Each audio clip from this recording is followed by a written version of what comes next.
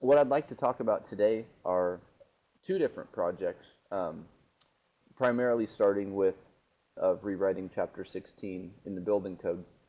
In terms of outline today, I'm going to start just with you know a few slides on context to try to put um, the projects in context with you know other types of analysis methods or other things that that we do.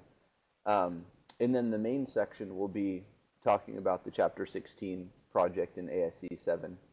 And that's really rewriting the chapter, um, codifying what can be done to design a building using the response history analysis. And then in the second segment, I'd like to talk about the FEMA P58 or ATC 58 project.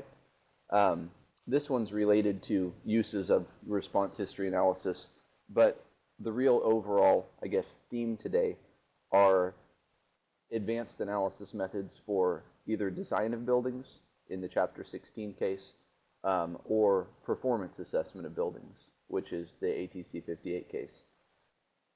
I'll, to give credit where credit is due, I'll show some authorship things coming up. Um, I, I led the team for the first project, but the team consisted of um, about 15 people that spent a great deal of time. I just coordinated it. Um, it was an absolute team effort. And on the second project, um, I've been involved in that project, but that has been a huge 10-year project. And um, I've been involved, other people have been involved much more than I have. So to give credit where credit is due, you know, these are not my projects, these are team projects that I've been involved in at different levels of involvement. So to start off, I'd like to just give a little bit of context as to where these methods that we'll be talking about, the Chapter 16 approach and the ATC 58 approach, where they fit in terms of other things that we often do. So if we're talking about structural analysis in general, um, there's really two purposes that, that we typically have for that. There's others, but two main ones. We're either designing a new building or retrofitting an existing building. Um, I also mentioned here, added the FEMA P58 damage and loss analysis. That's something that's probably new um, to a lot of people potentially on this call, you know, in our industry. Um, people have potentially heard about it, but I'd like to talk about um, that in a little bit more detail.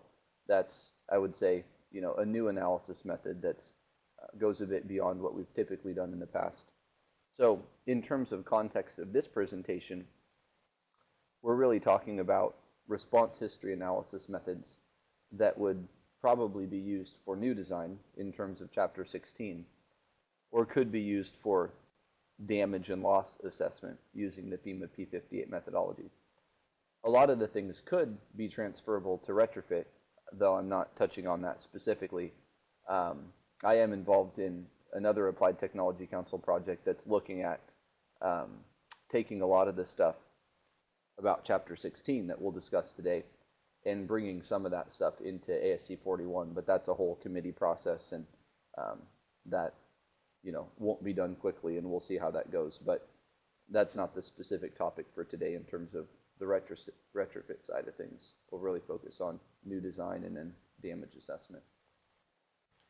In terms of types of structural analysis, I put kind of a long list here.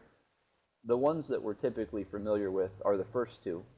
Um, if we're designing a new building, we would use equivalent lateral force procedure for um, some cases, modal analysis for some cases.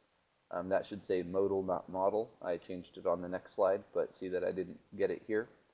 So those are the two that I would say, you know, are kind of our bread and butter in terms of designing buildings if you want to keep going further and further, um, you could use linear time history analysis, linear response history analysis.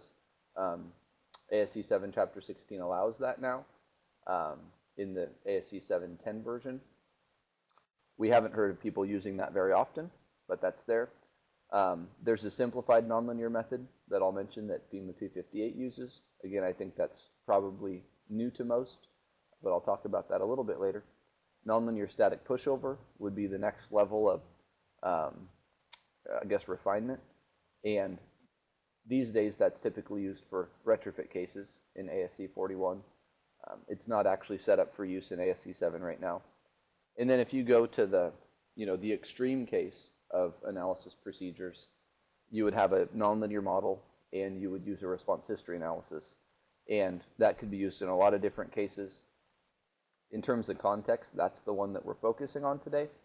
Um, I'd like to touch a little bit on some of the earlier ones um, for the first two just because they're important, but the real focus will be nonlinear response history analysis, particularly for new design in the Chapter 16 um, update in ASCE 7.